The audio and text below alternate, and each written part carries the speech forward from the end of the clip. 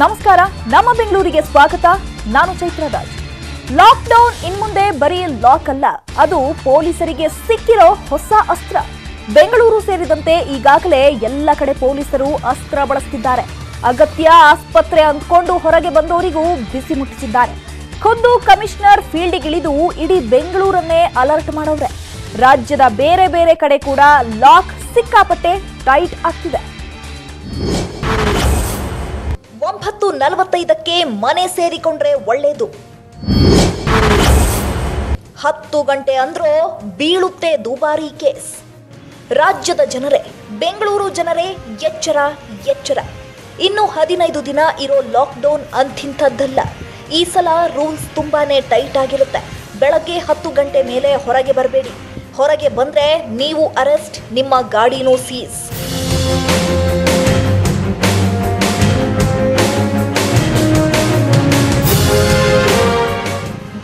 ಬೆಂಗಳೂರಿನಲ್ಲಿ ಈಗಾಗಲೇ ಫೀಲ್ಡಿಗಿಳಿದಿರೋ ಪೊಲೀಸರು ರಸ್ತೆಗಳಲ್ಲಿ ಪ್ರತಿಯೊಂದು ವಾಹನ ತಪಾಸಣೆ ಮಾಡ್ತಿದ್ದಾರೆ. ಅನಗತ್ಯವಾಗಿ ಓಡಾಡಿದ್ರೆ ಅರೆಸ್ಟ್ ಮಾಡಿ ಕೇಸ್ ಹಾಕ್ತಿದ್ದಾರೆ. ವಶಕ್ಕೆ ಪಡೆದವರ ಮೇಲೆ ಎನ್ಡಿಎಂಎ ಅಡಿ ಕೇಸ್ ಬುಕ್ ಆಗ್ತಿದೆ.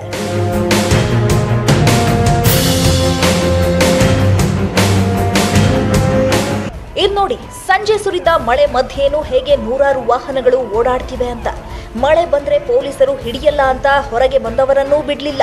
ಮಡಿವಾಳ ಸುತ್ತಮುತ್ತ ಖುದ್ದು ಡಿಸಿಪಿ ಶ್ರೀನಿವಾಸ್ ಅವರೇ ಮಳೆಯಲ್ಲೂ ಗಾಡಿಗಳನ್ನ ತಪಾಸಣೆ ಮಾಡಿದ್ರು. ಕೆಲವರನ್ನ ವಶಕ್ಕೆ ಪಡೆದು ಗಾಡಿಗಳನ್ನು ಸೀಸ್ ಮಾಡಿದ್ರು.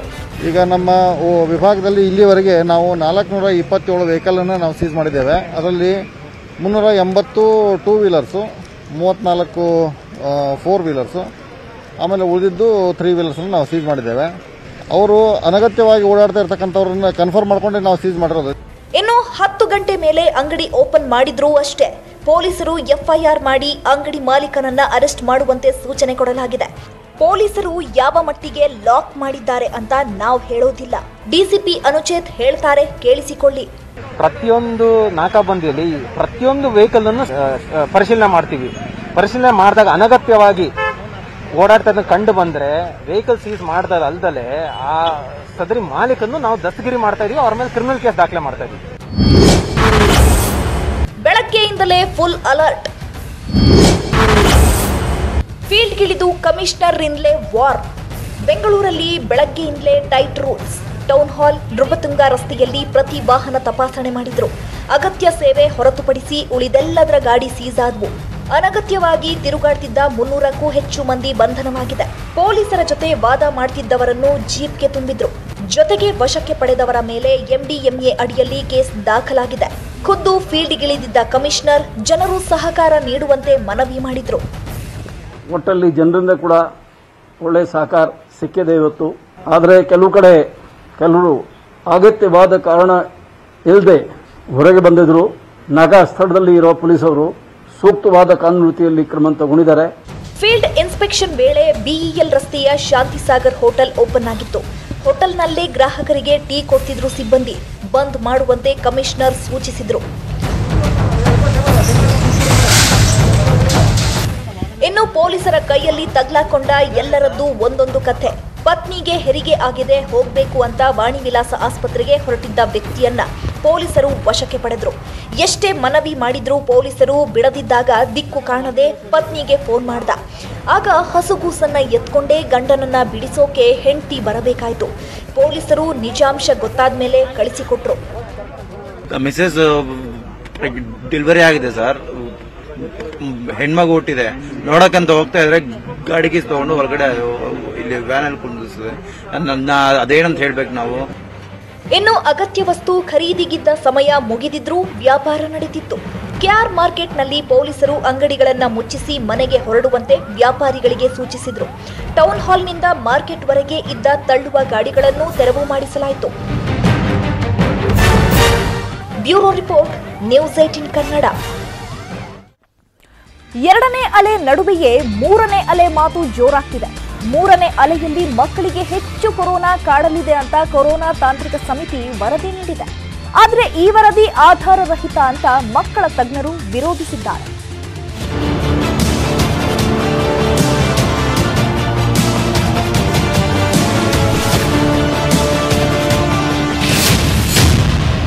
ಮೂರನೇ ಅಲೆ ಮಕ್ಕಳಿಗೆ ನಿಜಕ್ಕೂ ಕಂಟಕಾನ.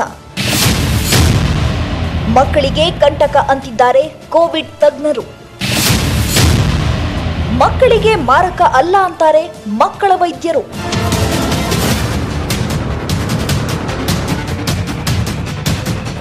ಎರಡನೇ ಅಲೆಯ ಕೊರೋನಾ ಅಬ್ಬರ ಇನ್ನೂ ಕಡಿಮೆಯಾಗಿಲ್ಲ. ಆಗ್ಲೇ ಮೂರನೇ ಅಲೆ ಬರುತ್ತೆ. ಮೂರನೇ ಅಲೆ ಮಕ್ಕಳನ್ನ ಹೆಚ್ಚು ಬಾಧಿಸುತ್ತೆ ಅನ್ನೋ ತಾಂತ್ರಿಕ ಸಮಿತಿ ವರದಿಗಳು ಸರ್ಕಾರದ ಕೈ ಸೇರಿವೆ. ಮೊದಲ ಅಲೆಯಲ್ಲಿ ನಾಲ್ಕರಷ್ಟು ಮಕ್ಕಳಿಗೆ ಸೋಂಕು ತಗುಲಿತ್ತು. ಎರಡನೇ ಅಲೆಯಲ್ಲಿ ಹತ್ತು ಪರ್ಸೆಂಟ್ ರಷ್ಟು ಮಕ್ಕಳಿಗೆ ಕೊರೋನಾ ಸೋಂಕು ತಗುಲಿದೆ ಅನ್ನೋ ವರದಿಯನ್ನು ಟಾಸ್ಕ್ ಫೋರ್ಸ್ ಸಮಿತಿ ಸರ್ಕಾರಕ್ಕೆ ನೀಡಿದೆ. ಅಕ್ಟೋಬರ್ ಅಂತ ಸ್ಟಾರ್ಟ್ ಆಗೋದು ಅಂತ ಹೇಳ್ತಾರೆ. ಯಾಕಂದ್ರೆ ಎಲ್ಲ ದೇಶಗಳ ಕಮ್- ಕ್ರೋಢೀಕರಣ ಮಾಡಿ ಅವರೊಂದು ಅಂಕಿಅಂಶ ಕೊಟ್ಟಿರ್ತಾರೆ ಯಾವ ಟೈಮಲ್ಲಿ ಬರುವಂತ ಪ್ರಿಂಟ್ ಮಾಡಿದ್ದಾರೆ ಪ್ರಾಬ್ಲಿ ಯಾವ ಮಂತಲ್ಲಿ ಆಗ್ಬೋದು ಅಕ್ಟೋಬರ್ ಅಥವಾ ಸೆಪ್ಟೆಂಬರ್ ಆಗ್ಬೋದು. ಮಕ್ಕಳಿಗೆ ವ್ಯಾಕ್ಸಿನ್ ಕೊಡಬಹುದಾ? ಕೊರೋನಾ ಲಸಿಕೆ ಪಡೆದ್ರೆ ಸೋಂಕಿನ ಪ್ರಮಾಣ ಕಡಿಮೆಯಾಗುತ್ತೆ. ಸೋಂಕಿಗೆ ತುತ್ತಾದ್ರೂ ಆರೋಗ್ಯದಲ್ಲಿ ಗಂಭೀರ ಪರಿಸ್ಥಿತಿಗೆ ಹೋಗಲ್ಲ ಅನ್ನೋದು ನಿಜ. ಆದ್ರೆ ಮಕ್ಕಳಿಗೆ ವ್ಯಾಕ್ಸಿನ್ ಸದ್ಯಕ್ಕಂತೂ ನೀಡಲು ಸಾಧ್ಯವಿಲ್ಲ. ಹೀಗಾಗಿ ಹದಿನೆಂಟು ವರ್ಷ ಮೇಲ್ಪಟ್ಟವರಲ್ಲಿ ಬಹುತೇಕ ಜನರಿಗೆ ವ್ಯಾಕ್ಸಿನ್ ಸಿಕ್ಕಿದೆ. ಹೀಗಾಗಿ ದುರ್ಬಲ ಗುಂಪು ಅಂದ್ರೆ ಮಕ್ಕಳು. ಹೀಗಾಗಿ ಮಕ್ಕಳಲ್ಲಿ ಕೊರೋನಾ ಸೋಂಕು ಹೆಚ್ಚು ಕಾಣಿಸಿಕೊಳ್ಳಲಿದೆ ಅಂತ ಕೊರೋನಾ ತಾಂತ್ರಿಕ ಸಮಿತಿ ಸರ್ಕಾರಕ್ಕೆ ವರದಿ ನೀಡಿದೆ. ಜಾಸ್ತಿ ಈಗ ಮೊದಲನೇ ಬಂದಾಗ ಈ ಪ್ರೈಮರಿ ಕಾಂಟ್ಯಾಕ್ಟ್ ಸೆಕೆಂಡರಿ ಕಾಂಟ್ಯಾಕ್ಟಲ್ಲಿ ಪ್ರಾಪರ್ ಆಗ್ತಾ ಇತ್ತು. ಈಗ ನಂಬರ್ ಜಾಸ್ತಿ ಆಗಿರೋದ್ರಿಂದ ಪ್ರಾಬ್ಲಿ ಆಗುತ್ತಿಲ್ಲ ಆಗುತ್ತಿಲ್ಲವೇನೋ ಇನ್ನೂ ಅರ್ಥ ಆಗ್ತಾ ಇಲ್ಲ. ತಾಂತ್ರಿಕ ಸಮಿತಿ ವರದಿಗೆ ಮಕ್ಕಳ ವೈದ್ಯರು ಆಕ್ಷೇಪ. ತಾಂತ್ರಿಕ ಸಮಿತಿ ವರದಿಗೆ ಮಕ್ಕಳ ತಜ್ಞರು ಆಕ್ಷೇಪ ಎತ್ತಿದ್ದಾರೆ. ಮಕ್ಕಳಲ್ಲಿ ಹೆಚ್ಚು ಕೊರೋನಾ ಸೋಂಕು ಹರಡಲಿದೆ ಅನ್ನೋದಕ್ಕೆ ಯಾವುದೇ ವೈಜ್ಞಾನಿಕ ಪುರಾವೆಗಳಿಲ್ಲ. ಜಗತ್ತಿನ ಯಾವ ದೇಶದಲ್ಲೂ ಮಕ್ಕಳಲ್ಲಿ ಹೆಚ್ಚು ಸೋಂಕು ತಗುಲಿದ ಉದಾಹರಣೆಗಳೂ ಇಲ್ಲ. ಯಾವುದೇ ವೈಜ್ಞಾನಿಕ ಅಧ್ಯಯನ ಕೂಡ ಆಗಿಲ್ಲ. ಅಂದಾಜಿನ ಮೇಲೆ ಮಕ್ಕಳಲ್ಲಿ ಕೊರೋನಾ ಹರಡಲಿದೆ ಅಂತ ಹೇಳಲಾಗುತ್ತಿದೆ ಅಷ್ಟೇ ಅನ್ನೋದು ಮಕ್ಕಳ ತಜ್ಞರ ಅಭಿಪ್ರಾಯ. ಸಾಕಷ್ಟು ವೈಜ್ಞಾನಿಕ ಸಂಶೋಧನೆಗಳ ಆಧಾರದಿಂದ ಮಕ್ಕಳಲ್ಲಿ ಇದು ಜಾಸ್ತಿ ಆಗುತ್ತೆ ಅನ್ನೋದು ಇನ್ನು ನಾವು ಈಗಲೇ ಖಂಡಿತವಾಗಿ ಅದನ್ನ ಆಗೋದಿಲ್ಲ. ವ್ಯಾಕ್ಸಿನ್ ತಗೊಳ್ದಿರುವಂಥದ್ದಾಗಲಿ ಅಥವಾ ಎಕ್ಸ್ಪೋಸ್ ಆಗದೇ ಇರುವಂಥದ್ದಾಗಲಿ ಅಥವಾ ಇಮ್ಯುನಿಟಿ ಕಡಿಮೆ ಇರುವಂಥದ್ದಾಗಲಿ ಸೊ ಈ ಅಂಶಗಳಿಂದ ಮಕ್ಕಳು ಹೆಚ್ಚಾಗಿ ಈ ರೋಗಕ್ಕೆ ತುತ್ತಾಗಬಹುದು. ಅಂದ್ಹಾಗೆ ಮಕ್ಕಳಿಗೆ ಮೂರನೇ ಅಲೆ ಹೊಡೆತ ಕೊಡುತ್ತೆ ಅನ್ನೋ ಆತಂಕ ಕೆಲವು ಪೋಷಕರಲ್ಲಿದೆ. ಪೋಷಕರ ಆತಂಕ ದೂರ ಮಾಡೋಕೆ ಖ್ಯಾತ ಮಕ್ಕಳ ವೈದ್ಯರು ಒಂದಷ್ಟು ಸಲಹೆಗಳನ್ನು ಕೊಟ್ಟಿದ್ದಾರೆ. ಪೋಷಕರು ಆ ಸಲಹೆಗಳನ್ನು ಪಾಲಿಸಿದ್ರೆ ಸಾಕು. ಬೇಸಿಗೆ ಕಾಲ ಮುಗಿದು ಮಳೆಗಾಲ ಶುರುವಾಗುವ ಸಮಯ. ವಾತಾವರಣದಲ್ಲಿ ಏರುಪೇರಾದಾಗ ಅನಾರೋಗ್ಯ ಸಾಮಾನ್ಯ. ಮಕ್ಕಳಿಗೆ ಜ್ವರ, ನೆಗಡಿ, ಕೆಮ್ಮು, ವಾಂತಿ ಆಗುವುದು ಮಾಮೂಲಿ. ಮಕ್ಕಳಿಗೆ ಅನಾರೋಗ್ಯ ಆದಾಕ್ಷಣ ಕೊರೋನಾ ಎಂಬ ಭಯ ಬೇಡ. ಮೂರರಿಂದ ಐದು ದಿನಗಳಾದರೂ ರೋಗ ಲಕ್ಷಣ ಹಾಗೆಯೇ ಇದ್ರೆ ವೈದ್ಯರನ್ನ ಸಂಪರ್ಕಿಸಿ. ಮಕ್ಕಳಿಗೆ ಪ್ರತಿಸಲವೂ ಬಿಸಿ ಊಟ, ಹಣ್ಣು, ತರಕಾರಿ ಹೆಚ್ಚಾಗಿ ಕೊಡಿ. ಬೆಚ್ಚಗಿನ ವಾತಾವರಣದಲ್ಲಿ ಇಡಿ. ಮಕ್ಕಳನ್ನ ಸದಾ ಖುಷಿಯಾಗಿಡಿ. ತಣ್ಣೀರು ಐಸ್ ಕ್ರೀಮ್ ಎಣ್ಣೆ ತಿನಿಸುಗಳಿಂದ ಸಾಧ್ಯವಾದಷ್ಟು ದೂರವಿಡಿ. ಮನೆಯಲ್ಲಿ ಯಾರಿಗಾದರೂ ಪಾಸಿಟಿವ್ ಆಗಿದ್ರೆ ನಿರ್ಲಕ್ಷ್ಯ ಮಾಡಬೇಡಿ. ತಕ್ಷಣ ವೈದ್ಯರನ್ನ ಸಂಪರ್ಕಿಸಿ, ಅವರ ಸಲಹೆಯಂತೆ ಔಷಧಿ ಕೊಡಿ. ಸಾಧ್ಯವಾದಷ್ಟು ಮನೆಯಲ್ಲೂ ಪೋಷಕರು ಮಾಸ್ಕ್ ಹಾಕಿಕೊಳ್ಳಿ. ಎಲ್ಲಕ್ಕಿಂತ ಮುಖ್ಯವಾಗಿ ಪೋಷಕರು ಆತಂಕ, ಗಾಬರಿ ಬೀಳಬೇಡಿ. ಕೊರೋನಾ ಇದೆ ಇಲ್ಲ ಅನ್ನೋ ಮಾತೇ ಇಲ್ಲ. ಆದ್ರೆ ಮಕ್ಕಳಲ್ಲಿ ರೋಗ ನಿರೋಧಕ ಶಕ್ತಿ ಹೆಚ್ಚಾಗಿರುತ್ತೆ. ಮಕ್ಕಳು ಖುಷಿಯಾಗಿದ್ರೆ ರೋಗವು ದೂರ ಇರುತ್ತೆ ಅನ್ನೋದನ್ನ ಮರಿಬೇಡಿ. ಅಂದಹಾಗೆ ಮಕ್ಕಳಿಗೂ ಕೆಲವು ಮಾನದಂಡದ ಆಧಾರದ ಮೇಲಷ್ಟೇ ಮಕ್ಕಳು ಕೋವಿಡ್ಗೆ ತುತ್ತಾಗ್ತಾರೆ ಅಂತ ಹೇಳಲಾಗ್ತಿದೆ. ಈ ಬಗ್ಗೆ ಮತ್ತಷ್ಟು ಸಂಶೋಧನೆಯಾಗಬೇಕು. ಸೊ, ಕೂಲಾಗಿರಿ, ಹಾಗೆ ಹುಷಾರಾಗಿರಿ. Sharanu Hampi, news eighteen Kannada, Bengaluru. ಅದು ಮೂರು ವರ್ಷದ ಹಿಂದಿನ ಪ್ರಕರಣ. ಎಪ್ಪತ್ತೈದು ಲಕ್ಷ ಕಳ್ಳತನ ಆಗಿದ್ದ ಕೇಸ್ನಲ್ಲಿ ಏನೂ ಕ್ಲೂ ಇಲ್ಲ ಅಂತ ಹೇಳಿ ಪೊಲೀಸರು ಫೈಲ್ ಅನ್ನೇ ಸೈಡ್ಗಿಟ್ಟಿದ್ರು ಇಂತಹ ಕೇಸ್ನ ಚಾಣಾಕ್ಷ ಇನ್ಸ್ಪೆಕ್ಟರ್ ಒಬ್ರು ಒಂದು ಸಿಸಿ ಕ್ಯಾಮೆರಾದ ದೃಶ್ಯಾವಳಿಯಿಂದ ಸಕ್ಸಸ್ ಕಂಡಿದ್ದಾರೆ. ಅಷ್ಟೇ ಅಲ್ಲ, ಯಾರೂ ಊಹೆ ಮಾಡದಂತಹ ಒಂದೊಂದೇ ಸತ್ಯಗಳು ಈ ಕೇಸ್ನಿಂದ ಹೊರಗೆ ಬಂದಿದೆ. ಮೂರು ವರ್ಷದ ಹಿಂದಿನ ಕೇಸ್ಗೆ ಟ್ವಿಸ್ಟ್ ಕೊಡ್ತು ಸಿಸಿಟಿವಿ ದೃಶ್ಯ. ಎಟಿಎಂ ಕಳ್ಳತನ ಕೇಸ್ ಬೆನ್ನತ್ತಿದ ಖಾಕಿಗೆ ಸಿಕ್ಕಿದ ಹಂತಕರು. ಎರಡು ಸಾವಿರದ ಹದಿನೆಂಟು ಕೆಜಿಹಳ್ಳಿ ಪೊಲೀಸ್ ಠಾಣಾ ವ್ಯಾಪ್ತಿಯಲ್ಲಿ ಐಸಿಐಸಿಐ ಬ್ಯಾಂಕ್ಗೆ ಹಣ ಹಾಕಲು ಹೋಗಿದ್ದ ಕಸ್ಟೋಡಿಯನ್ ಪ್ರಸನ್ನ ಹಾಗೂ ಡ್ರೈವರ್ ಶಾಹಿದ್ ಎಪ್ಪತ್ತೈದು ಲಕ್ಷ ಹಣದ ಸಮೇತ ಎಸ್ಕೇಪ್ ಆಗಿದ್ರು. ಪ್ರಸನ್ನ ತನ್ನ ಮೂವರು ಸ್ನೇಹಿತರ ಸಹಾಯದಿಂದ ಹಣದ ಸಮೇತ ಎಸ್ಕೇಪ್ ಆಗಿದ್ದ. ಕದ್ದ ಎಪ್ಪತ್ತೈದು ಲಕ್ಷ ಹಣವನ್ನ ಹಂಚಿಕೊಂಡು ಬೆಂಗಳೂರು ಬಿಟ್ಟಿದ್ರು. ಆದರೆ ಹಣ ಹಂಚಿಕೊಂಡ ಬಳಿಕ ಏನಾಯ್ತೋ ಏನೋ. ಡ್ರೈವರ್ ಶಾಹಿದ್, ನನಗೆ ಹಣವೂ ಬೇಡ, ಏನು ಬೇಡ, ನನ್ನನ್ನು ಬಿಟ್ಬಿಡಿ ಅಂದ. ಇವನನ್ನ ಬಿಟ್ಟರೆ ನಮಗೆ ಉಳಿಗಾಲ ಇಲ್ಲ ಅಂತ ಪ್ರಸನ್ನ ಆ್ಯಂಡ್ ಟೀಮ್ ಸಕಲೇಶ್ಪುರ ಬಳಿ ಶಾಹಿದ್ನನ್ನ ಕೊಲೆ ಮಾಡಿ ಹೆಣವನ್ನ ಬಿಸಾಕಿ ಊರಿಗೆ ಬಂದು ಸೆಟ್ಲ್ ಆಗಿತ್ತು ರೈಟರ್ ಸೇಫ್ ಗಾರ್ಡ್ ಏಜೆನ್ಸಿಗೆ ಸಂಬಂಧಿಸಿದಂಥ ಏನು ಈ ಟೀಮ್ ಇರುತ್ತೆ, ಆ ಒಂದು ಡ್ರೈವರ್ ಹಣ ತೆಗೆದುಕೊಂಡು ಪರಾರಿ ಆಗಿರ್ತಾನಂತ ಒಂದು ಕೇಸ್ ದಾಖಲಾಗಿತ್ತು ಕೆ ಜಿ ಹಳ್ಳಿಯಲ್ಲಿ ಟೂ ತೌಸಂಡ್ ಏಯ್ಟೀನ್ ಈ ತಂಡ ಏನು ಮಾಡಿದ್ದಾರೆ? ಏನು ಆ ಸಮಯದಲ್ಲಿ ನಮಗೆ ದೊರೆತ ಸಾಕ್ಷ್ಯಾಧಾರಗಳು, ಸಿ ಸಿ ಟಿ ವಿ, ಆ ಸಮಯದಲ್ಲಿ ತನಿಖಾಧಿಕಾರಿಯವರು ಕಲೆಕ್ಟ್ ಮಾಡಿರುವ ಟೆಕ್ನಿಕಲ್ ಎವಿಡೆನ್ಸಸ್ ಎಲ್ಲ ಒಂದು ಆಯಾಮಗಳಲ್ಲಿ ಪ್ರಯತ್ನ ಮಾಡಿ ಒಬ್ಬ ಆರೋಪಿ ಅನುಮಾನಾಸ್ಪದ ವ್ಯಕ್ತಿಯನ್ನು ವಶಪಡಿಸ್ಕೊಂಡು ವಿಚಾರ ಮಾಡುವಲ್ಲಿ ಯಶಸ್ವಿಯಾಗ್ತಾರೆ. ಕಳ್ಳತನದ ಹಣದಲ್ಲಿ ಬಿಸ್ನೆಸ್ ಮಾಡ್ತಾ ಇದ್ದ ಆರೋಪಿಗಳು. ಮೂರು ವರ್ಷಗಳ ಬಳಿಕ ಖಾಕಿ ಬಲೆಗೆ ಬಿದ್ದ ಆರೋಪಿಗಳು. ಎರಡು ಸಾವಿರದ ಹದಿನೆಂಟರಲ್ಲಿ ನಡೆದಿದ್ದ ಕೇಸ್ ಕೈಚೆಲ್ಲಿದ್ದ ಪೊಲೀಸರಿಗೆ ಇನ್ಸ್ಪೆಕ್ಟರ್ ಪ್ರಕಾಶ್ ಲೀಡ್ ಹುಡುಕಿದ್ರು. ಕೃತ್ಯದ ಹಿಂದಿನ ದಿನದ ಸಿಸಿಟಿವಿಯನ್ನು ಸೂಕ್ಷ್ಮವಾಗಿ ಗಮನಿಸಿದಾಗ ಪ್ರಸನ್ನ ಅನ್ನುವತನ ಗುರುತು ಪತ್ತೆಯಾಗಿತ್ತು. ಪ್ರಸನ್ನ ಕುಮಾರ್ ಮಂಡ್ಯದಲ್ಲಿದ್ದಾನೆ ಅಂತ ಗೊತ್ತಾಯಿತು. ತಕ್ಷಣ ಎತ್ತಾಕೊಂಡು ಬಂದು ವಿಚಾರಣೆ ಮಾಡಿದಾಗ ಹಣ ಕದ್ದ ಸತ್ಯವನ್ನ ಒಪ್ಪಿಕೊಂಡಿದ್ದ. ಜೊತೆಗೆ ಚಾಲಕನನ್ನ ಹತ್ಯೆ ಮಾಡಿದ್ದನ್ನು ಬಾಯಿ ಬಿಟ್ಟಿದ್ದ ಈತನ ಜೊತೆಗೆ ಕೃತ್ಯದಲ್ಲಿ ಭಾಗಿಯಾದ ಮಧು, ಮಹೇಶ್ ಕರ್ಕೊಂಡು ಬಂದು ಖಾಕಿ ಸ್ಟೈಲ್ನಲ್ಲಿ ವಿಚಾರಣೆ ಮಾಡಿದಾಗ ಹಣದ ಬಗ್ಗೆನೂ ಬಾಯಿ ಬಿಟ್ರು ಪ್ರಸನ್ನ ಹಾಗೂ ಮಧು ಹಣವನ್ನ ಮೆಡಿಕಲ್ ಹಾಗೂ ಎಳ್ನೀರು ವ್ಯಾಪಾರದಲ್ಲಿ ಹೂಡಿದ್ದನ್ನ ಒಪ್ಪಿಕೊಂಡಿದ್ರು. ಹಾಸನ ತಲುಪಿಸ್ತಿದ್ದಂತೆ ಏನು ಇವನು ಡ್ರೈವರ್ ಇರ್ತಾನೆ? ಅಬ್ದುಲ್ ಶಾಹಿದ್, ಅವನಿಗೆ ಒಂಥರ ಭಯ ಉಂಟಾಗುತ್ತೆ. ಅವನು ನನಗೆ ಬಿಟ್ಬಿಡಿ, ನನಗೆ ದುಡ್ಡು ಬೇಡ, ನಾನು ಹೋಗ್ತೀನಿ ಅಂತ. ಅವನಿಗೆ ಬಿಟ್ಟರೆ ಇವರು ಎಲ್ಲ ಇದ್ರ ಬಗ್ಗೆ ಹೇಳ್ತಾನೆ ಅಂತ ಅವ್ರು ಭಯ ಪಡ್ಕೊಂಡು ವೆಹಿಕಲಲ್ಲಿನೇ ಅವನಿಗೆ ಟವಲ್ಲಿಂದ ಸ್ಟ್ರ್ಯಾಂಗ್ಯುಲೇಟ್ ಮಾಡಿ ಸಾಯಿಸ್ತಾರೆ. ಸಾಯಿಸಿ ಸಕಲೇಶ್ಪುರದ ಒಂದು ಬ್ಯೂಟಿ ಸ್ಪಾಟ್ ಅಂತ ಏನು ಒಂದು ಘಾಟ್ ಏರಿಯಾ ಇದೆ. ಆ ಏರಿಯಾದಲ್ಲಿ ಅವನ ಬಾಡಿಯನ್ನು ಡಿಸ್ಪೋಸ್ ಮಾಡ್ತಾರೆ. ಸದ್ಯ ಗೋವಿಂದಪುರ ಪೊಲೀಸರು ಹಳೆಯ ಕೇಸನ್ನ ಪತ್ತೆ ಹಚ್ಚುವಲ್ಲಿ ಯಶಸ್ವಿಯಾಗಿದ್ದಾರೆ. ಆದರೆ ಅಸ್ಸಾಂ ಮೂಲದ ಚಾಲಕ ಪಾಪಪ್ರಜ್ಞೆ ಕಾಡುವಾಗಲೇ ಕೊಲೆಯಾಗಿದ್ದು ದುರಂತವೇ ಸರಿ. ಪೊಲೀಸರ ಕಾರ್ಯವೈಖರಿ ಮೆಚ್ಚಿ ಪ್ರಶಂಸಾ ಪತ್ರದ ಜೊತೆಗೆ ನಗದು ಬಹುಮಾನವನ್ನು ಡಿಸಿಪಿ ಕೊಟ್ಟಿದ್ದಾರೆ. Manjunath N crime bureau, news eighteen Kannada, Bengaluru. ಇನ್ನುಳಿದ ಸುದ್ದಿಗಳನ್ನು ನೋಡೋಣ, ಬ್ರೇಕ್ ಆದ್ಮೇಲೆ. ಇಂದಿನಿಂದ ಹದಿನೆಂಟರಿಂದ ನಲವತ್ನಾಲ್ಕು ವರ್ಷದೊಳಗಿನವರಿಗೆ ಕೊರೋನಾ ಲಸಿಕೆ ಹಾಕಲಾಗ್ತಿದೆ. ಮುಂಚೂಣಿ ಕಾರ್ಯಕರ್ತರಿಗೆ ಆದ್ಯತೆ ನೀಡಲಾಗಿದ್ದು, ಅಂಗವಿಕಲರು, ಬೀದಿ ಬದಿ ವ್ಯಾಪಾರಿಗಳು, ಸಾರಿಗೆ ಸಿಬ್ಬಂದಿ, ಆಟೋ, ಕ್ಯಾಬ್ ಚಾಲಕರು, ಔಷಧ ತಯಾರಿಸುವ ಕಂಪನಿ ಸಿಬ್ಬಂದಿ, ಚಿತಾಗಾರ ಸ್ಮಶಾನದಲ್ಲಿ ಕೆಲಸ ಮಾಡುವ ಸಿಬ್ಬಂದಿ, ವಿದ್ಯುತ್ ಮತ್ತು ನೀರು ಸರಬರಾಜು ಮಾಡುವವರು ಹಾಗೂ ಕೃಷಿ ಉತ್ಪನ್ನ ಮಾರುಕಟ್ಟೆ ಸಮಿತಿ ಕೆಲಸಗಾರರಿಗೆ ಮೊದಲು ಲಸಿಕೆ ನೀಡಲಾಗುತ್ತೆ.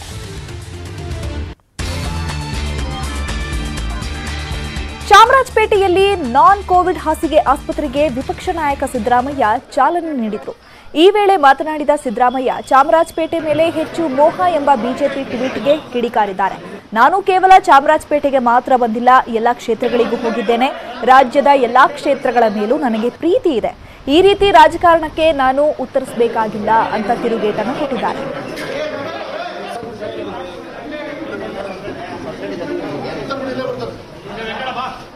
ರಾಜ ಈಗ ರಾಜಕೀಯದ ಬಗ್ಗೆ ಮಾತಾಡೋದಿಲ್ಲ ಗೊತ್ತಾಯ್ತಾ? ಈಗ ಕೊರೋನಾ ರೋಗ ಬಂದಿದೆ. ಬರೀ ಚಾಮರಾಜಪೇಟೆ ಒಂದರಲ್ಲೇ ಬಂದಿದೆಯಾ? ಇಡೀ ಜಗತ್ತಿನಲ್ಲಿ ಬಂದಿದೆ. ಅವರು ಇಲ್ಲಿ ಆಸ್ಪತ್ರೆ ಮಾಡಿದ್ದಾರೆ. ನಾನು ಹೆಬ್ಬಾಳ್ಗೂ ಹೋಗ್ತಾ ಇದ್ದೀನಿ. ಇದಕ್ಕೂ ಹೋಗಿದ್ದೆ. ಪುಲ್ಕೇಶಿ ನಗರ್ಗೆ ಹೋಗಿದ್ದೆ. ಬಸವನಗುಡಿಗೆ ಹೋಗಿದ್ದೆ. ಆಮೇಲೆ ಕೆ ಜಿ ಎಫ್ಗೆ ಹೋಗಿದ್ದೆ. ಮಾಲೂರಿಗೆ ಹೋಗಿದ್ದೆ. ಏನಿಲ್ಲ ಎಲ್ಲ ಕ್ಷೇತ್ರಗಳ ಬಗ್ಗೆನೂ ಪ್ರೀತಿ ಇದೆ. ಚಾಮರಾಜ ಕ್ಷೇತ್ರದ ಬಗ್ಗೆನೂ ಕೂಡ ಸರ್ಕಾರ ನೂರು ಕೋಟಿ ಅಂತೇಳಿ. ಅವ್ರು ಕೂಡ ದುಡ್ಡು ಯಾರ್ದು? ಅವ್ರ ದುಡ್ಡು ಯಾರ್ದು ಅದು? ಹಾಂ? ಜನರ ದುಡ್ಡು ಅಲ್ವಾ? ನಾವು ಕೊಡೋದು ಯಾರು ದುಡ್ಡು? ಹಾಂ? ರಸ್ತೆ ಮಾಡಿಸಿದ್ರೆ ಯಾರು ದುಡ್ಡು ಕೊಡೋದು? ಮನೆ ಕಟ್ಟಿಸ್ಕೊಟ್ರೆ ಯಾರು ದುಡ್ಡು ಕೊಡೋದು?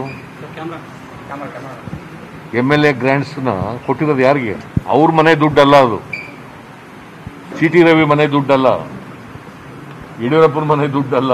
ಜನರ ದುಡ್ಡು. ಜನರ ದುಡ್ಡನ್ನು ನಾವು ಸಾರ್ವಜನಿಕ ಪ್ರತಿನಿಧಿಗಳಾಗಿ ಬಹಳ ವಿವೇಚನೆಯಿಂದ ಖರ್ಚು ಮಾಡಬೇಕು ಅಷ್ಟೇ ನಾವು ಇಂಥ ಸಂಕಷ್ಟ ಕಾಲದಲ್ಲಿ ನೂರು ಕೋಟಿ ರೂಪಾಯಿಗಳನ್ನು ಎಂ ಎಲ್ ಎಗಳು ಅಭಿವೃದ್ಧಿ ನಿಧಿಯಿಂದ ಇರಬಹುದು ಮತ್ತು ಸ್ವಂತ ಪಕ್ಷದಿಂದ ಕೂಡ ಹತ್ತು ಕೋಟಿ ಆಗ್ತಾ ಇದ್ದೀವಿ. ಸೊ ಇದೆಲ್ಲ ಮಾಡಿ ಇದನ್ನ ವ್ಯಾಕ್ಸಿನ್ಗಳನ್ನು ಕೊಂಡ್ಕೊಂಡು ಅಗತ್ಯ ಇದೆ. ಅವ್ರಿಗೆ ಕೊಡ್ತಕ್ಕಂಥ ಕೆಲಸ ಮಾಡ್ತಾ ಇದ್ದೀವಿ. ಯಾರ ದುಡ್ಡು ಅಲ್ಲ ಇದು. ನಮ್ಮ ದುಡ್ಡು ಅಲ್ಲ, ಅವ್ರ ದುಡ್ಡು ಅಲ್ಲ. ಜನರ ದುಡ್ಡು. ಕಾಳಸಂತೆಯಲ್ಲಿ ಆಕ್ಸಿಜನ್ ಸಿಲಿಂಡರ್ಗಳನ್ನ ದುಪ್ಪಟ್ಟು ಬೆಲೆಗೆ ಮಾರಾಟ ಮಾಡ್ತಾ ಇದ್ದ ಇಬ್ಬರು ಆರೋಪಿಗಳನ್ನ ಸಿಸಿಬಿ ಪೊಲೀಸರು ಬಂಧಿಸಿದ್ದಾರೆ. ಶಿವ, ಗಣೇಶ್ ಮತ್ತು ಭರತ್ ಬಂಧಿತ ಆರೋಪಿಗಳು. ಬಂಧಿತರಿಂದ ಪೊಲೀಸರು ನಾಲ್ಕು ಆಕ್ಸಿಜನ್ ಸಿಲಿಂಡರ್ ವಶಕ್ಕೆ ಪಡ್ಕೊಂಡಿದ್ದಾರೆ. ಬಂಧಿತರು ಶೇಷಾದ್ರಿಪುರಂ ಮತ್ತು ಬ್ಯಾಟರಾಯನಪುರ ಪೊಲೀಸ್ ಠಾಣಾ ವ್ಯಾಪ್ತಿಯಲ್ಲಿ ಸೋಂಕಿತ ರೋಗಿಗಳನ್ನೇ ಕೇಂದ್ರೀಕರಿಸಿಕೊಂಡು ಆಕ್ಸಿಜನ್ ಸಿಲಿಂಡರ್ಗಳನ್ನ ದುಪ್ಪಟ್ಟು ಹಣಕ್ಕೆ ಮಾರಾಟ ಮಾಡ್ತಿದ್ರು. ಸಿಸಿಬಿಗೆ ದೂರು ಕೂಡ ಬಂದಿತ್ತು.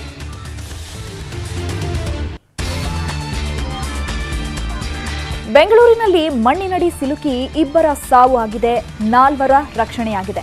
ಬೆಂಗಳೂರಿನ ಮಾರತ್ಹಳ್ಳಿ ಪೊಲೀಸ್ ಠಾಣಾ ವ್ಯಾಪ್ತಿಯಲ್ಲಿ ಈ ಘಟನೆ ಸಂಭವಿಸಿದ್ದು, ಕಮರ್ಷಿಯಲ್ ಕನ್ಸ್ಟ್ರಕ್ಷನ್ ಬಿಲ್ಡಿಂಗ್ ಕಾಮಗಾರಿಯಲ್ಲಿ ಒಟ್ಟು ಏಳು ಜನ ಕಾರ್ಮಿಕರು ಕೆಲಸ ಮಾಡ್ತಿದ್ರು. ಏಕಾಏಕಿ ಮಣ್ಣು ಕುಸಿದ ಪರಿಣಾಮ ಎಲ್ಲರೂ ಸಿಲುಕಿಕೊಂಡಿದ್ರು. ಸ್ಥಳದಲ್ಲಿದ್ದ ಇತರೆ ಕಾರ್ಮಿಕರ ಸಹಾಯದಿಂದ ಐವರು ಪ್ರಾಣಾಪಾಯದಿಂದ ಪಾರಾಗಿದ್ದಾರೆ. ಗುಲ್ಬರ್ಗಾ ಮೂಲದ ಇಬ್ಬರಲ್ಲಿ ಒಬ್ಬ ಸ್ಥಳದಲ್ಲೇ ಸಾವನ್ನಪ್ಪಿದ್ರೆ ಮತ್ತೊಬ್ಬ ಆಸ್ಪತ್ರೆಗೆ ಸಾಗಿಸುವ ಮಾರ್ಗ ಮಧ್ಯೆ ಸಾವನ್ನಪ್ಪಿದ್ದಾನೆ ಜಮ್ಮಣ್ಣ ಮತ್ತು ಭೀಮರಾವ್ ಮೃತ ದೈವಿಗಳು ಮಾರತ್ಹಳ್ಳಿಯ ದೇವರ ಬಿಸನಹಳ್ಳಿಯಲ್ಲಿ ಈ ಕನ್ಸ್ಟ್ರಕ್ಷನ್ ನಡೀತಾ ಇದ್ದಂತಹ ಸಂದರ್ಭದಲ್ಲಿ ಈ ಘಟನೆ ಸಂಭವ- ಸಂಭವಿಸಿರೋದು ಮಾರತ್ಹಳ್ಳಿ ಪೊಲೀಸ್ ಠಾಣೆಯಲ್ಲಿ ಈ ಕುರಿತು ಪ್ರಕರಣ ದಾಖಲಾಗಿದೆ. ಎಲ್ಲಿದ್ದೀರಾ ಹಾಗಿದ್ರೆ ರೆಡಿಯಾಗಿ ಮನೆ ಮನೆಗೂ ಕೊರೋನಾ ಟೆಸ್ಟ್ಗೆ ಬರ್ತಾರೆ ರೆಡಿಯಾಗಿರಿ. ವಾರ್ಡ್ ವ್ಯಾಪ್ತಿಯಲ್ಲಿ ಮನೆ ಮನೆ ಟೆಸ್ಟ್ಗೆ ಬಿಬಿಎಂಪಿ ನಿರ್ಧಾರ ಕೈಗೊಂಡಿದೆ. ಮನೆ ಮನೆಗೆ ತೆರಳಿ ಸಮೀಕ್ಷೆ ಜೊತೆಗೆ ಕೊರೋನಾ ಟೆಸ್ಟ್ ಕೂಡ ಮಾಡಲಾಗುತ್ತೆ. ಮನೆ ಮನೆಗೂ ತೆರಳಿ ಇನ್ಮುಂದೆ ಕೊರೋನಾ ಲಸಿಕೆಯನ್ನು ಕೂಡ ಹಾಕಲಾಗುತ್ತೆ. ಬಿಬಿಎಂಪಿ ಆಯುಕ್ತ ಗೌರವ್ ಗುಪ್ತಾ ಹೇಳಿಕೆಯನ್ನ ಕೊಟ್ಟಿದ್ದಾರೆ. ಮನೆಗೆ ಬಂದಾಗ ಟೆಸ್ಟ್ ಬೇಡ ಅಂತ ಹೇಳಬೇಡಿ. ಟೆಸ್ಟ್ ಕೊಟ್ಟು ರಿಸಲ್ಟ್ ಬರೋವರೆಗೂ ಐಸೋಲೇಷನ್ ಅಲ್ಲಿ ಇರಬೇಕಾಗುತ್ತೆ ಕೊರೋನಾ ಕನ್ಫರ್ಮ್ ಆದ್ರೆ ಕೋವಿಡ್ ಕೇರ್ ಸೆಂಟರ್ಗೆ ಶಿಫ್ಟ್ ಮಾಡ್ತಾರೆ. ಸೊ ನೀವೆಲ್ಲ ರೆಡಿಯಾಗಿರಿ. ಈಗ ವಾರ್ಡ್ ವ್ಯಾಪ್ತಿಯಲ್ಲಿ ಮನೆ ಮನೆ ಟೆಸ್ಟ್ಗೆ ಬಿಬಿಎಂಪಿ ನಿರ್ಧಾರ ಮಾಡಿದೆ. ಅವರು ಈಗ ಕೊರೋನಾ ಲಸಿಕೆಯನ್ನ ಕೊಡಬೇಕು ಅನ್ನುವಂತಹ ನಿರ್ಧಾರಕ್ಕೆ ಬಂದಿದ್ದಾರೆ. ಹೋದಾಗ ನಮ್ಮವರು ಮನೆ ಮನೆಗೆ ಹೋಗ್ತಕ್ಕಂಥದ್ದು ನಿರ್ದೇಶನಗಳು ನಾವು ಈಗಾಗಲೇ ಕೊಟ್ಟಿದ್ದೀವಿ. ಮನೆ ಮನೆಗೆ ಹೋಗ್ತಕ್ಕಂಥದ್ದು ತೀರಾ ಅಗತ್ಯ. ಮತ್ತು ನಾನು ಇನ್ನೊಂದು ಹೇಳ್ತೀನಿ, ಮನೆಗೆ ಹೋದವಾಗ ನಮ್ಮವರು ಕೆಲವರು ಟೆಸ್ಟಿಂಗ್ ಕೇಳಿದವಾಗ ಕೆಲವರು ಅದನ್ನು ಬೇಡ ಅಂತ ಇದ್ದಾರೆ. ದಯವಿಟ್ಟು ಅದನ್ನು ಸ್ವೀಕರಿಸಬೇಕು. ಯಾಕಂದರೆ ನಿಮ್ಮ ಒಳ್ಳೆ ತಕ್ಕಾಗಿ ನಾವು ಮಾಡ್ತಾ ಇದ್ದೀವಿ. ಅದರ ಜೊತೆಗೆ ಏನಾದರೂ ತಮ್ಮ ಮನೆಯಲ್ಲಿ ಜಾಗ ಇಲ್ಲದಿದ್ದರೆ ಮತ್ತು ಅಲ್ಲಿ ಸೋಂಕು ಹರಡುವಂಥ ಸಾಧ್ಯತೆ ಇದ್ದರೆ ಅದನ್ನು ಶಿಫ್ಟ್ ಮಾಡ್ತಕ್ಕಂಥ ದಿಕ್ಕಿನಲ್ಲಿ ಕೂಡ ನಮ್ಮ ಅಧಿಕಾರಿಗಳು ಹೇಳ್ತಾ ಇದ್ದಾರೆ. ಅದನ್ನು ಕೂಡ ದಯವಿಟ್ಟು ಜನರು ಸಹಕರಿಸಬೇಕೆಂದು ತಮ್ಮ ಮೂಲಕ ನಾನು ಮನೆ ಮನೆಗೆ ಎಸ್ ಈ ಬಗ್ಗೆ ಮತ್ತಷ್ಟು ಮಾಹಿತಿಯನ್ನ ಕೊಡ್ತಾರೆ ನಮ್ಮ ಪ್ರತಿನಿಧಿ ಶರಣು ಹಂಪಿ ಫೋನ್ ಸಂಪರ್ಕದಲ್ಲಿ ಜಾಯ್ನ್ ಆಗ್ತಾ ಇದ್ದಾರೆ. ಶರಣು ಹಂಪಿ, ಇಷ್ಟು ದಿನಗಳ ಸಾವು ನೋವು ಸಂಭವಿಸಿದ ಮೇಲೆ ಬಿಬಿಎಂಪಿ ಒಂದು ಒಳ್ಳೆ ನಿರ್ಧಾರಕ್ಕೆ ಬಂದಂಗೆ ಕಾಣಿಸ್ತಾ ಇದೆ. ಈಗ ಮನೆ ಮನೆಗೆ ತೆರಳಿ ಸಮೀಕ್ಷೆ ಜೊತೆಗೆ ಕೊರೋನಾ ಟೆಸ್ಟ್ ಕೂಡ ಮಾಡ್ತಾರೆ. ಅದ್ರ ಜೊತೆಗೆ ಲಸಿಕೆಯನ್ನ ಕೂಡ ಹಾಕಬೇಕು ಅನ್ನುವಂತಹ ನಿರ್ಧಾರವನ್ನ ತೆಗೆದುಕೊಂಡಿದ್ದಾರೆ. ಹಾಗಿದ್ರೆ ಯಾವಾಗಿನಿಂದ ಸಮೀಕ್ಷೆ ಶುರುವಾಗುತ್ತೆ, ಲಸಿಕೆ ಕೊಡೋದಕ್ಕೆ ಸ್ಟಾರ್ಟ್ ಮಾಡ್ತಾರೆ ಅಂತ? ಚೈತ್ರ ರಾಜ್ಯಾದ್ಯಂತ ಈಗಾಗಲೇ ತಾಲೂಕು ಮಟ್ಟದಲ್ಲಿ, ಅಂದ್ರೆ ತಾಲೂಕು ಮಟ್ಟದಲ್ಲಿ ಈಗಾಗಲೇ ಕೋವಿಡ್ ಕೇರ್ ಸೆಂಟರ್ಗಳಲ್ಲಿ ಗಳಲ್ಲಿ ಚಿಕಿತ್ಸೆಯನ್ನ ಪಡಿಬೇಕು. ಯಾಕಂದ್ರೆ ಮನೆಗಳಲ್ಲಿ ಹೋಮ್ ಐಸೋಲೇಷನ್ ಆಗೋದು ಕಷ್ಟ ಆಗತ್ತೆ ಅಂತ ಹೇಳಿ ಈಗಾಗಲೇ ಸೂಚನೆಯನ್ನು ಕೊಟ್ಟಿದೆ. ರಾಮನಗರ ಸೇರಿದಂತೆ ರಾಜ್ಯದ ವಿವಿಧ ತಾಲೂಕು ಮಟ್ಟಗಳಲ್ಲಿ ಈಗಾಗಲೇ ಇದು ಚಾಲ್ತಿಯಲ್ಲಿದೆ. ಆದ್ರೆ ಬೆಂಗಳೂರು ಮಹಾನಗರ ಪಾಲಿಕೆ ವ್ಯಾಪ್ತಿಯಲ್ಲಿರುವಂತಹ ವಾರ್ಡ್ಗಳಲ್ಲಿ ಇದು ವ್ಯಾಪ್ತಿಯಲ್ಲಿ ಇದ್ದಿದ್ದಿಲ್ಲ. ಇಲ್ಲಿವರೆಗೂ ಕೂಡ ಹೋಮ್ ಐಸೋಲೇಷನ್ ಅಂದ್ರೆ ಮನೆಯಲ್ಲಿ ಐಸೋಲೇಷನ್ ಆಗುವಂತವ್ರು ಅವ- ಅವಕಾಶ ಇದ್ರೆ, ಆ ರೀತಿ ಇದ್ರೆ ಅವ್ರ ಮನೇಲೆ ಇರ್ಬೋದು ಅಂತಿತ್ತು ಆದ್ರೆ ಈಗ ಹೊಸದಾಗಿ ಇನ್ನೊಂದು ವಾರದಿಂದ ಈಗ ಶುರು ಆಗುತ್ತೆ ಮನೆ ಮನೆಗೂ ಹೋಗಿ ಮನೆಯಲ್ಲಿ ಕೋವಿಡ್ ಟೆಸ್ಟ್ ಅನ್ನ ಮಾಡ್ತಾರೆ. ಕೋವಿಡ್ ಟೆಸ್ಟ್ ರಿಸಲ್ಟ್ ಬರೋವರೆಗೂ ಕೂಡ ಹೋಮ್ ಐಸೋಲೇಷನ್ ಅಲ್ಲಿ ಇರ್ಬೇಕಾಗತ್ತೆ. ಅಥವಾ ಗುಣಲಕ್ಷಣಗಳು ಏನಾದ್ರು ಇದ್ರೆ ಅವರನ್ನ ಕೂಡ್ಲೇನೆ ಕೊರೋನಾ ಕೇರ್ ಸೆಂಟರ್ಗಳಿಗೆ ಶಿಫ್ಟ್ ಮಾಡ್ಲಿಕ್ಕೂ ಕೂಡ ಬಿಬಿಎಂಪಿ ಮುಂದಾಗಿದೆ. ಸೊ ಈ ಹಿನ್ನೆಲೆಯಲ್ಲಿ ಮನೆಯಲ್ಲಿ ಅವಕಾಶ ಇಲ್ಲದೆ ಇದ್ರೆ ಅವರು ಕೂಡಲೇನೆ ಶಿಫ್ಟ್ ಆಗ್ಬೇಕಾಗತ್ತೆ ಕೊರೋನಾ ಸೆಂಟರ್ಗಳಿಗೆ ಈ ಹಿನ್ನೆಲೆಯಲ್ಲಿ ಬೆಂಗಳೂರಲ್ಲಿ ಬಿಬಿಎಂಪಿ ಕೊರೋನಾ ಕೇರ್ ಸೆಂಟರ್ಗಳನ್ನ ಆರೈಕೆ ಕೇಂದ್ರಗಳನ್ನ ಹೆಚ್ಚು ಮಾಡ್ಲಿಕ್ಕೂ ಕೂಡ ಬಿಬಿಎಂಪಿ ಮುಂದಾಗಿದೆ, ಚೈತ್ರ. ಎಸ್ ಶರಣು ಹಂಪಿ, ಇದೀಗ ಬೆಂಗಳೂರಲ್ಲೇ ಕೇಸ್ಗಳು ಜಾಸ್ತಿ ಆಗ್ತಾ ಇರೋದ್ರಿಂದ ಈಗ ಆಕ್ಸಿಜನ್ ಬೆಡ್ ಇರ್ಬೋದು, ವೆಂಟಿಲೇಟರ್ ಇರ್ಬೋದು, ಅಥವಾ ಕೋವಿಡ್ ಸೆಂಟರ್ಗಳಲ್ಲಿ ಬೆಡ್ ಸಿಗೋದೇ ತುಂಬಾ ಕಷ್ಟ ಆಗಿದೆ. ಅಂಥದ್ರಲ್ಲಿ ಈಗ ಬಿಬಿಎಂಪಿ ಮನೆ ಮನೆಗೆ ಹೋಗಿ ಅವರಲ್ಲಿ ಪಾಸಿಟಿವ್ ಬಂದವ್ರನ್ನ ಕೋವಿಡ್ ಕೇರ್ ಸೆಂಟರ್ಗೆ ಶಿಫ್ಟ್ ಮಾಡಬೇಕು ಅನ್ನುವಂತಹ ನಿರ್ಧಾರಕ್ಕೆ ಬಂದಿದೆ.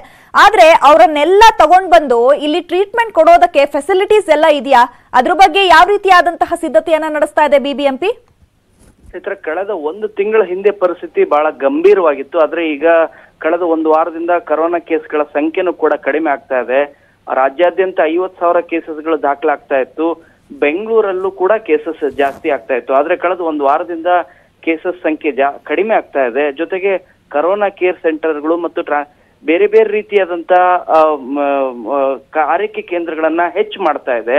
ಸೊ, ಇದರಿಂದಾಗಿ ಆರೈಕೆ ಕೇಂದ್ರಗಳಲ್ಲಿ ಈಗ ತಕ್ಕ ಮಟ್ಟಿಗೆ, ಅಂದ್ರೆ ನಲವತ್ತರಿಂದ ಐವತ್ತು ಪರ್ಸೆಂಟ್ ಜನರು ಕೂಡ ಮತ್ತೆ ಅವ್ರನ್ನ ಆಡ್ ಮಾಡ್ಲಿಕ್ಕೆ ಅವಕಾಶ ಇರುವಂತ ಆಸನಗಳ ವ್ಯವಸ್ಥೆನೂ ಕೂಡ ಮಾಡಿದ್ದಾರೆ. ಇವತ್ತು, ಆ ಆರ್ಮಿಯ ಜಾಗದಲ್ಲೂ ಕೂಡ ಕರೋನಾ ಕೇರ್ ಸೆಂಟರ್ನ ಓಪನ್ ಮಾಡಿದ್ರು ಹೀಗೆ ಕರೋನಾ ಕೇರ್ ಸೆಂಟರ್ಗಳು ಜಾಸ್ತಿ ಮಾಡ್ತಿರೋದ್ರಿಂದ ಮನೆಯಲ್ಲೇ ಇದ್ದಂತವ್ರು ಸರಿಯಾಗಿ ಐಸೋಲೇಷನ್ ಆಗ್ತಾ ಇಲ್ಲ. ಅಕ್ಕಪಕ್ಕದವರಿಗೆ ಮತ್ತು ಮನೆಯಲ್ಲಿರುವಂತ ಕುಟುಂಬದ ಸದಸ್ಯರಿಗೂ ಕೂಡ ಕರೋನಾ ಸೋಂಕು ಹಬ್ತಾ ಇದೆ.